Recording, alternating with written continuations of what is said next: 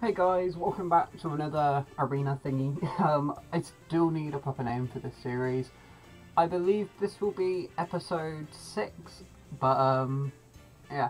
It's generally the same team as last time, How, however, if, if you've noticed by the side icons, um, I, I have betrayed uh, Micaiah and gone with Linde. And I'll explain my reasoning in a second, but she's pretty standard. Um, Moonbow is mainly because I don't actually have Iceberg on her yet. Um, Fury 3, Desperation 3, and Fortify Resistance, I guess, is there. Um, speed plus 3 seal. Normally she's a Blárblade set, but um, for the most part, this team doesn't really buff her. So in general, I think Aura is a better option because she can actually heal units if she's nearby them, which this team's very defensive as is. Um, and then, I don't remember if I had this last time or not, but Olivia's gone back to being the Reinhardt counter set because I need a Reinhardt counter. But also because the weapon's are a couple more BST, which is why I'm using Linde, because even though Makai has more BST, um, the merges make Linde better for my score. And as you can see, I've done four already. Um, my score's pretty high, well, for me at least, um, because it's 720 plus on each battle. Um, for anyone who doesn't know, like last week in Arena, um, like I know I said I thought I'd be safe. I was not safe. I had to do so much grinding.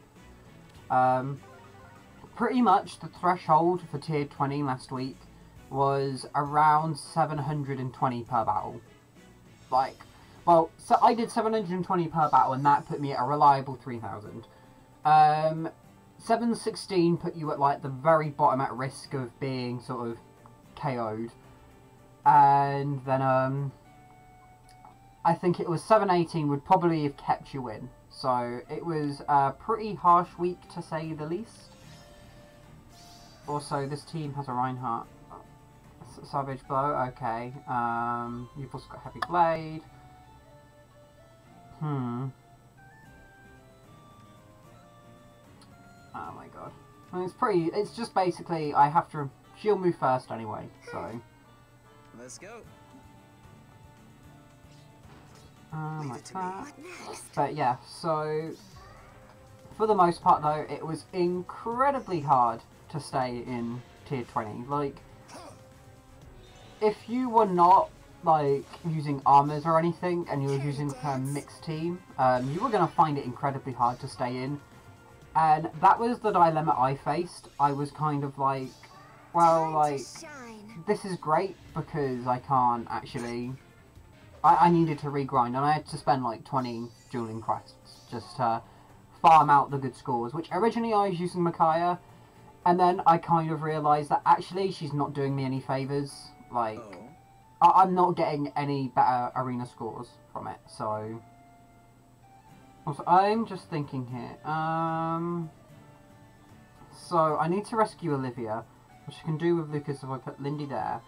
And if I do that, Olivia's there. If Yorn was to break down the wall, which she probably won't because she's got a rally, but let's say she did. Um, break it down, you are here, so you can hit there which would be Lucas, which I am fine with, to be honest. Actually, wait, wait, wait, wait. She has Aether. Oh, God. I'll do it because I still think that's my best play. And especially because I've got a full fight defense, so... Oh yeah, like, she rallied anyway. Yeah, no. So it wasn't really so much of trying to beat units in tier 20 this week, it's mainly getting the good score. Which, with this team, is hard enough already because it's two blues and two colourless, so as soon as, soon as a Raven Tome appears, I am done for. Let's go. Unless you've got Ice Mirror, so it's nothing that Next major. Okay. Um, well, we'll just heal you. Why not? But yeah, so in other news, um, the Sacred Stones banner got released. Like, if you haven't seen my reactions to it, for the most part, I am happy. Um, it's more of just the fact. Oh my god, someone's actually using triangle. I'm, I'm actually pleased. Understood. Um, Sure. Time to shine.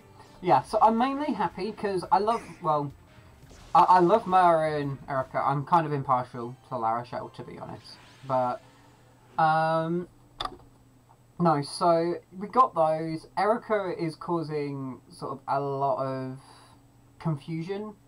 And for anyone who doesn't know um, her whole lady thing, um, it's Anamnesis is basically to recollect or like another version of something.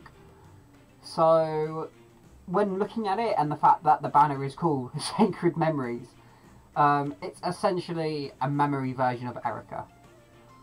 Which I, I really hope they call it Memory Eirika or something like that. Like, I, if they call it Brave Eirika, I'll, I'll die. Because I've seen a lot of people get upset over the fact that, oh, Eirika got a second form and she wasn't a break, like, she didn't win the thing. But at the same time, it's like, I'm really sorry, but, like, the reasoning I'm seeing for it, um, is because everyone complained that Ephraim got a weapon upgrade instead of Eirika. And to be quite honest, um, oh, um, Eirika's stats really lend themselves well to her main like high res, high speed, decent attack, and lowish defense, but decent as well. I can see why they just made her into a maid instead. But anyway, more on that in a second. Um, you have Blizzard. This is a very strange team.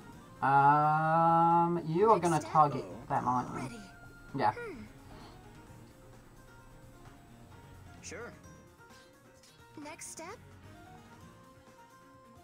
You either of you have armor march? No, they do not. Time to shine. So there is no way. Next step? There's no way of anyone being able to hit me there. I believe. Let's go. Yeah, because um, actually no, if Effie. No, no, no. Yeah, because Genny needs to be there, so I'll be Oh, safe there. Leave it to me. What next? Which is I've just made a mistake.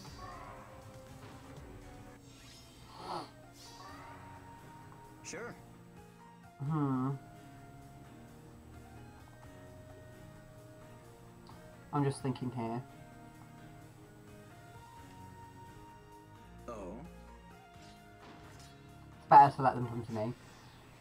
But yeah, no, like, I'm still happy about Eirika and everything. Oh, Hmm.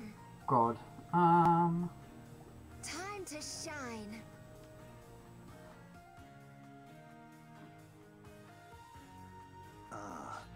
Let's go.